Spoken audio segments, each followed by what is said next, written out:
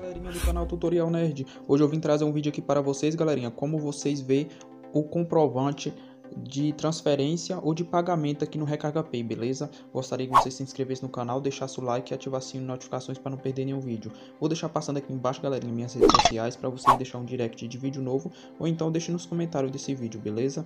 Vamos lá, galerinha, aqui para vocês verem os comprovantes aqui no Recarga Pay, que seja de pagamento ou de, de alguma transferência, vocês vão vir aqui em perfis, perfil, né, no caso.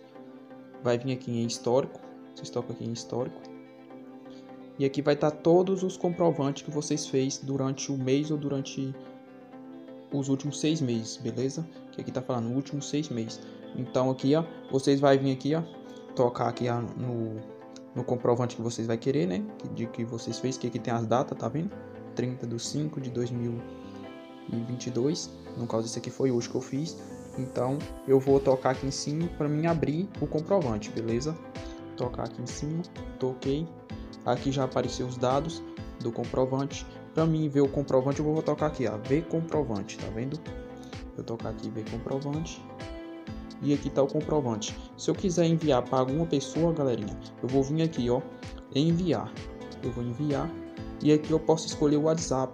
Eu posso estar tá enviando até para mim mesmo. Eu coloco o meu número aqui, por exemplo, e aí eu vou estar tá enviando para mim mesmo no, no WhatsApp, né?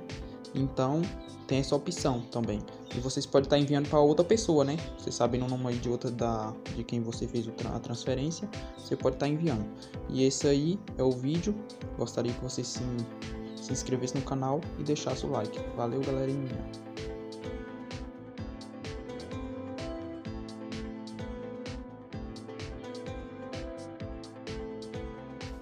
So when you stop me, you want to work, fuck That I know.